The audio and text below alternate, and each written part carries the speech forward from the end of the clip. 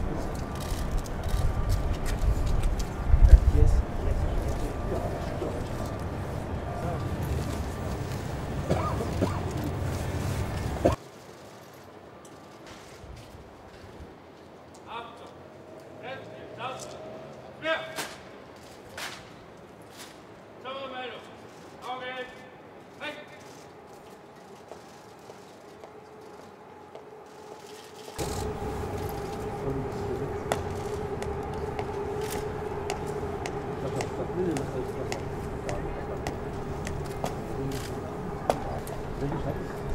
da müssen wir, machen wir